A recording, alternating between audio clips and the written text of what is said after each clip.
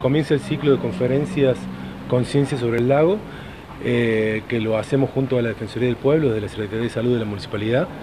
Y bueno, la verdad es que estamos muy contentos con esto porque va a ser una oportunidad, creo que importante, a la hora de,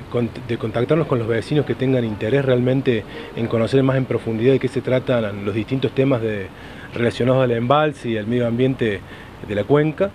Eh, en este primer ciclo de conferencias lo que vamos a hacer es eh, contar en profundidad a través de una charla del doctor Eduardo Benavides, que es el biólogo que está al frente del laboratorio,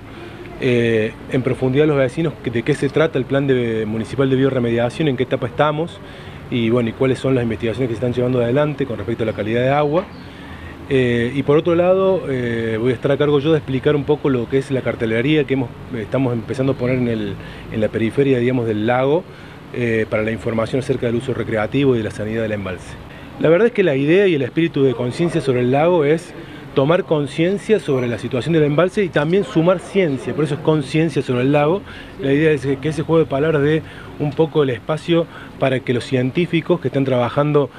de distintas instituciones, tanto eh, provinciales como a nivel nacional o internacional, sobre el tema de calidad de agua, puedan venir a compartir de alguna manera, a, bajar el conocimiento científico a un, lenguaje más llano, más, más entendible, para que cualquier persona de la sociedad civil este, pueda venir a interiorizarse lo que está sucediendo, preguntar, hacer críticas eh, al respecto de cuestiones que pueda eh, tener, digamos, como, como propuestas, etc. Nosotros estamos abiertos a que esto sea una, eh, una charla abierta y la verdad es que mm,